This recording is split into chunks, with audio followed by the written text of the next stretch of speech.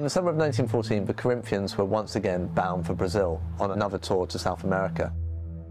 And it was whilst on the ship at sea that they received word via a telegram that war had been declared back in Europe. To a man, the Corinthians, it's said because of their Corinthian spirit and their belief that there was more to life than just sport, they decided they had to return home straight away to join the forces. They travelled down to Brazil, where they cancelled the tour, got straight back onto the next boat home. Chris, a little bit of the context there. Expand on some of that and tell us a bit about this voyage that was never to be. Yeah, well, the Corinthians were the original club that took football all around the world. And in 1910, they went to Brazil, where they inspired these five railway workers to set up Corinthians Paulista, who mm. today are the Brazilian world champions and mm -hmm. incredible club. But in 1914, the Corinthians were again going to Brazil on tour when they discovered that the war had broken out. And so they decided to a man they had to return home, they had to join up with the army. And so that's what they did. They, they didn't kick a ball in Brazil in 1914. Um, they had to dodge torpedo fire and German mm -hmm. U-boats to make it home. And sadly, that generation that took football around the world, uh, most of them died mm -hmm. in, in the battle. They lost a record number of men for a football club in the First World War.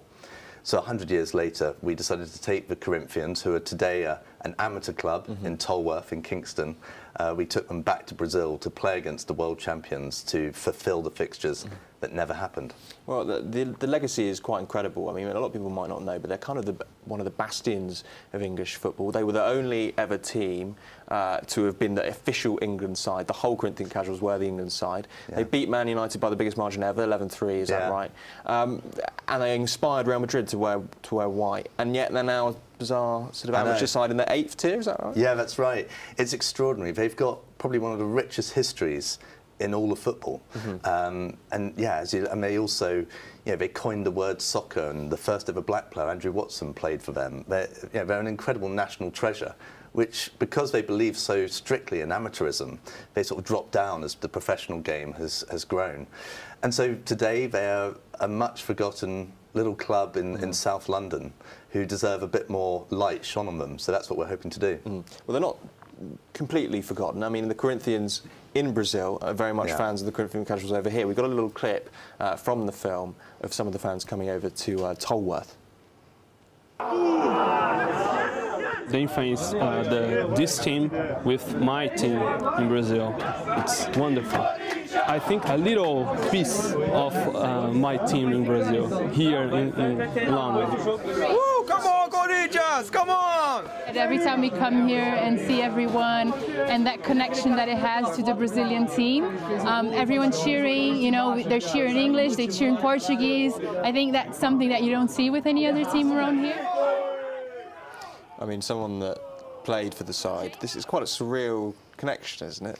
Yeah, it really is. Uh, you know, every week we now have Brazilian fans turn up, and they, they, they come 6,000 miles uh, to, to come to Tolworth, and they take a blade of grass, and they're crying as they pick a blade of grass, and they say, I'm going to take this back to Sao Paulo and uh, treasure it. And it's, it is extraordinary. Uh, when, when you see the ground, you know, we have maybe 200 fans there, but there's always a pocket of Brazilians. And mm -hmm. we're really proud of that route, and we're, we're proud of that connection.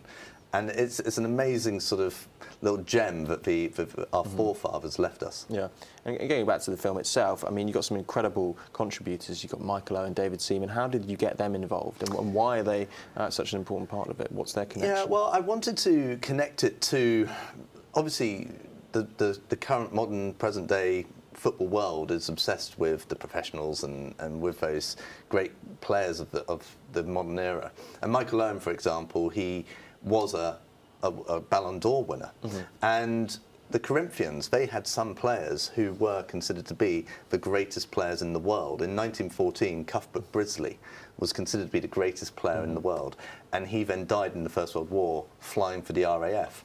So I wanted to try and sort of, you know, have someone like Michael Owen, mm -hmm. who has been at the top of the game, uh, reflect on the sacrifices that the forefathers made. Mm. And then, of course, you replicated them in the, in the pilgrimage to that famous stadium there. What was that like? Uh, you know, in front of, as you say, 200 fans. Um, this is after the game, and that is you there Yeah. in front of. Um, well, you say 30 million people watched it all, all around the Well, world. they claim to have 30 million fans, Corinthians Paulista. Um, it was shown, it was actually televised on two national uh, TV stations in Yeah. Brazil. Uh, 30,000 were there on the day. So it was an experience that, that none of us were used to. Um, walking out and just, just hearing the roar from the crowd, it was, yeah, it really did. Um, it, it was quite incredible. Not that it matters, but how did the game go? the game actually was was really close. They didn't score until the 78th minute. They got their first goal after 78, and then they, they did sadly get a couple of others when we were chasing, trying to get an equaliser. But they were going for it. It was their last pre-season warm-up before a major Champions League final um, qualification round for them, and they took it seriously. Chris Watney there. His uh, film Brothers in Football is on ITV on the 21st of November.